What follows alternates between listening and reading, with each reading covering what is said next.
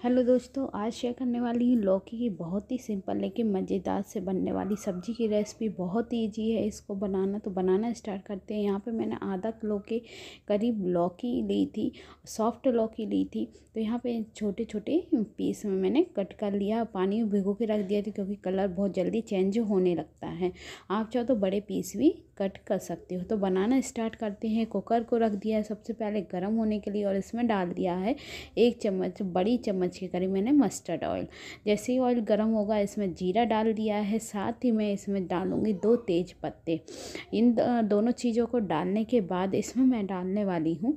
ये साबुत हरा धनिया लिया है, इसको डाला है, इससे सब्ज़ी का टेस्ट और फ्लेवर बहुत अच्छा आता है। आप किसी भी सब्ज़ी में साबुत धनिया डाल के एक बार ज़रूर देखिएगा, सब्ज़ी का टेस्ट ही अलग ही हो जाता है।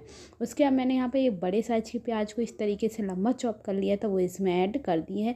इसको हमें ज़्यादा नहीं पकाना है, हल्का सुनहरा होने तक ही हम इसको पकाएँगे। साथ में मैंने दो साबुत लाल मिर्ची ली थी, वो भी इसमें ऐड कर दी हैं। यहाँ पे दो से तीन मिनट लगते हैं प्याज हमारी, हल्की सुनहरी हो जाएगी। तो यहाँ पे देखिए प्याज मेरी हल्की सुनहरी हो चुकी है। तो यहाँ पे मैंने ती, दो बड़े साइज़ के टमाटर लिए थे, उनको इस तरीके से चॉप कर लिया था, वो भी इसमें ऐड कर दिया है। टमाटर को एक मिनट तक इसी तरह से चलाने के बाद इसमें मसाले ऐड करेंगे। तो आधा चम्मच हल्दी पाउडर ऐड किया है, एक चम्मच मैंने लाल मिर्ची पाउडर ऐड किया है। इन दोनों चीज़ों को पहले थोड़ी से बस टमाटर के साथ ही इसी तरह से पकाएँगे। उसके साथ में मैंने यहाँ पे कसूरी मेथी भी ऐड कर दी है। ज़्यादा मसाले नहीं डालने हैं, सिर्फ़ दो मसाले, दो से तीन मसाले डालेंगे और सब्ज़ी उनके तैयार हो जाएगी। इसके साथ ही मैंने अब यहाँ पे लास्ट में डालने वाली हूँ नमक। तो नमक आप अपने टेस्ट के अनुसार ऐड कर दीजिएगा।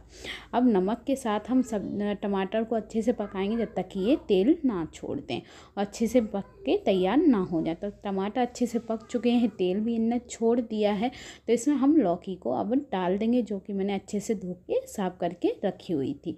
लौकी को अच्छे से मसाल, पूरे मसाले में अच्छे से मिक्स कर लेंगे और यहाँ पे लौकी पानी छोड़ती है तो यहाँ पे मैं आधा गिलास के करीब ही पानी ऐड करूँगी, ज़्यादा ऐड नहीं करूँगी।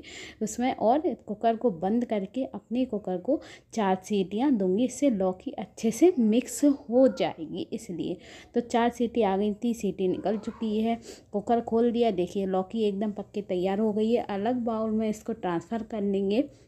तो लौकी की बहुत ही सिंपल लेकिन बहुत ही टेस्टी लगने वाली सब्ज़ी तैयार है। कुछ ही मिनटों में बन के तैयार हो जाती है। आप रोटी के साथ या चावल के साथ जैसे भी खाना चाहो खा सकते हो।